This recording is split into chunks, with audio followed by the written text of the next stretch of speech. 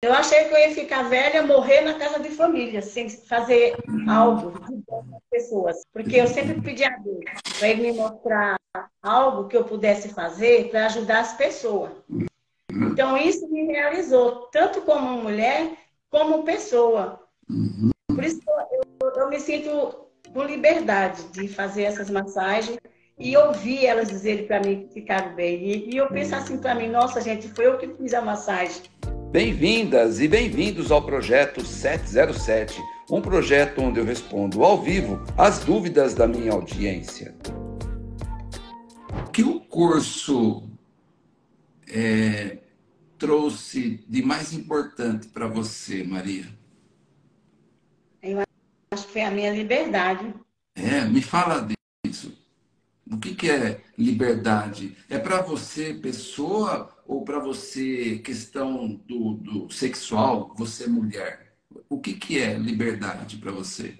Assim, a, a, o que eu digo a liberdade é eu poder, assim, trabalhar para as pessoas e, e saber que foi eu mesmo que corri atrás e realizar aquele sonho de trabalhar por conta Resumindo, eu achei que eu ia ficar velha, morrer na casa de família, sem fazer algo para as pessoas. Porque eu sempre pedi a Deus para ele me mostrar algo que eu pudesse fazer para ajudar as pessoas.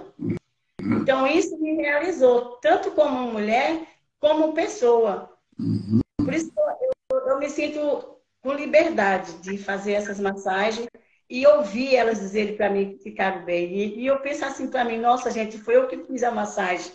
Então, isso para mim, nossa, me deixou assim, muito para cima, sabe?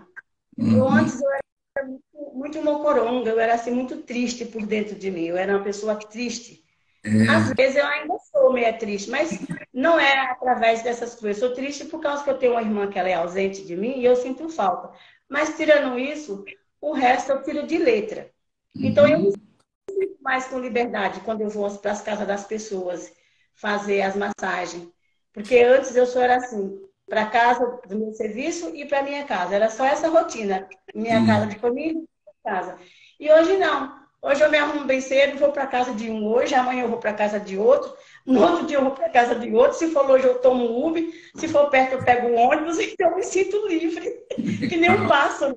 Sabe? Que legal. Eu pássaro.